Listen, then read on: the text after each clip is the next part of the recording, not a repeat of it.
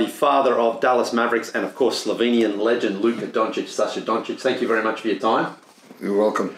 When did you first see young Luka and thought he's going to be a special player? You know, you, you have uh, kids who know how to dribble ball, and you see if this is, you know, natural born talent or he learned that. So I saw that Luka how he's handled the ball. Uh, it was really natural. Nobody teach him about that when he was I don't know three, four, five years Yeah. old. And I said maybe maybe something can happen from here. When he started practicing then basketball, uh, first coach, he said after I don't know one minute, please go with the older guy. So in that time you, you can see the potential. When he was 12 on one tournament in Italy, he made 54 points. I mean it's. It's hard to shoot.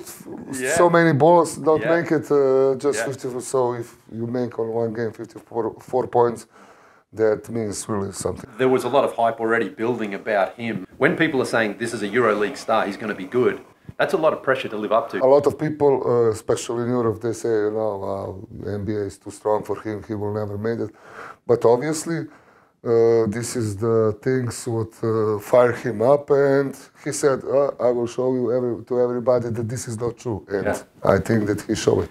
Nikola Jokic, the two-time MVP. Luka may win MVP this season. Countries have rivalries, Slovenia, Yeah. and Croatia, and Serbia. But when there's a player representing this area, does that form a, a, a more galvanizing sense of pride for the whole area? I I think the sport, basketball doesn't matter, is the things which connect people, you know. And Uh, everybody who succeeds from this part of the world, everybody is proud to be. This is, I agree with you. This is also my opinion.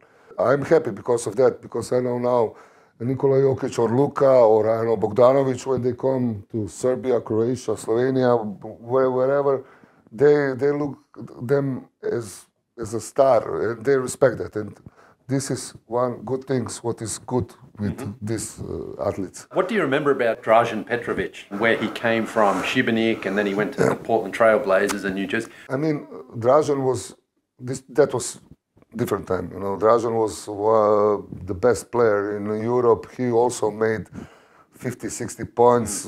I mean, he was really, really great player. But uh, what is what was really interesting when he came to United States, if I remember, with Portland Trail Blazers, yes, and but first two years he didn't play nothing. Uh, uh, who was there? Drexler was uh, Yeah, on his position. Clyde, Clyde yeah, Drexler. he was one of the best. Yeah. No one. of- He was the best player in Europe. But when he came to NBA, two, he needs two or three years to start to play. But, Yeah. but when he start to play, he pl- play great also in NBA. what makes this area produce such incredibly talented basketball players? we cannot talk only about basketball.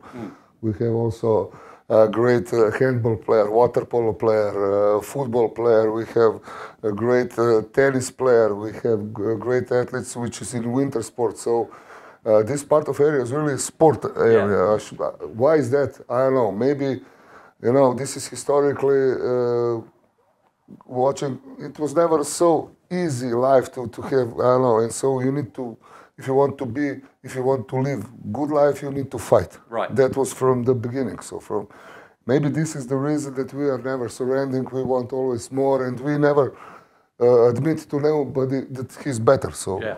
show me if you are better come and Prove it. compete with me One very important milestone in any father-son relationship is when the son defeats the father at basketball.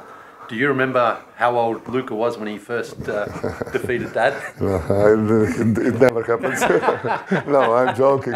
I mean, uh, I think every father is uh, proud when Yeah. his son defeated.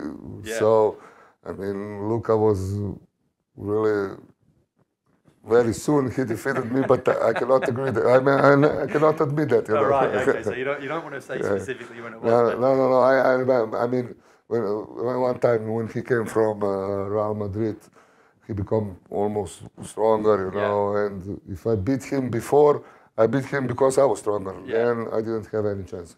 Good luck for the rest of the season. Good luck to Luka. I hope he can uh, continue to ascend the way he is in Dallas and maybe bring a championship and have the uh, Larry O'Brien Trophy around the streets of Slovenia. How do you think that would look? Oh, I think this would be spectacle for. Yeah.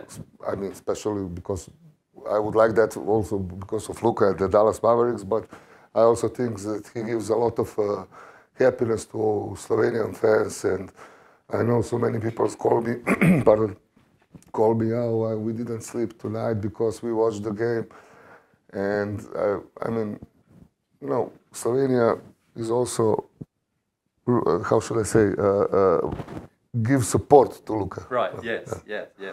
And Mark Cuban will be paying for all the champagne if that happens as well. So I hope, I hope that, I hope, I really hope that he will.